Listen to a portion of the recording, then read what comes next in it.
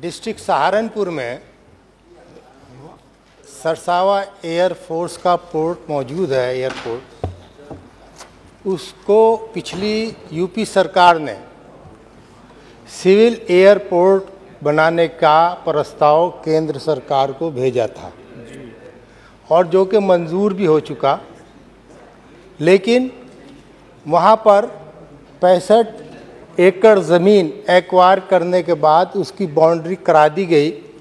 लेकिन रनवे और दूसरे काम बड़ी धीमी से चल रहे हैं। इसलिए मेरा अनुरोध है क्योंकि यहाँ पर मौजूद हैं हमारे मंत्री महोदय इसका संज्ञान ले और उसमें का, कार्य में तेज़ी लाई जाए।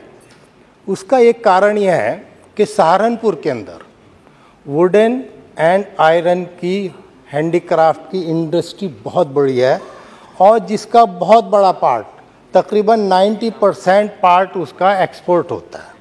तो इसलिए बायर्स का आना जाना रहता है। तो फॉरेन के जो बायर्स आते हैं, अमूमन अमूमन का ज़्यादातर दिल्ली में ही रुक जाते हैं क्योंकि आने जाने की अच्छी सुविधा नहीं है। उसका नुकसान सहारनपुर के जो इंडस्ट्रीज़ के लोग हैं, उनको होता है। तो मेरा आपसे अनुरोध है कि एयरपोर्ट को सिविल एयरपोर्ट का कार्य जल्दी कराया जाए ताकि वहाँ के लोगों को जो इंडस्ट्रीज़ के लोग हैं उनको ज़्यादा से ज़्यादा फ़ायदा पहुँचाए पहुँच सके। आपका बहुत बहुत धन्यवाद खास तौर से अग्रवाल जी का बहुत बहुत धन्यवाद। आपने मौका दिया। डिस्ट्रिक्ट सहारनपुर में सरसावा एयरफोर्स का पोर्ट मौजूद है एयरपोर्ट।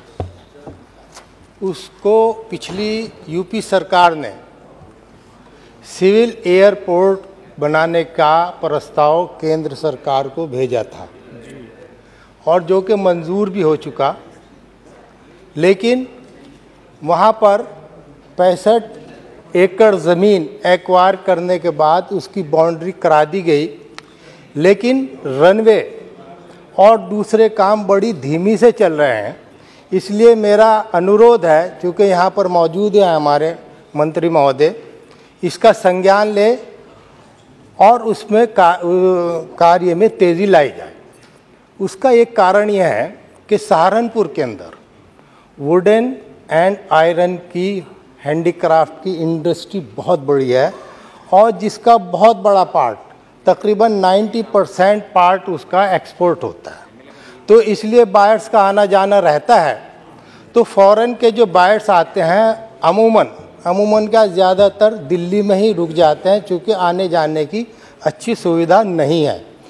उसका नुकसान सहारनपुर के जो इंडस्ट्रीज़ के लोग हैं उनको होता है।